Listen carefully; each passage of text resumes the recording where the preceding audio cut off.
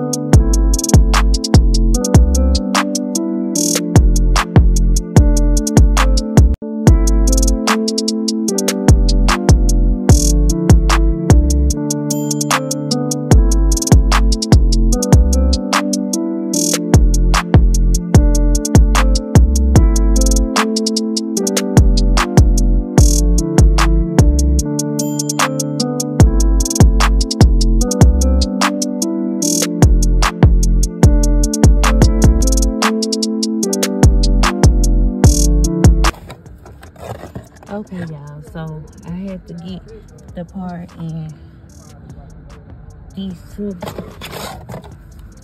These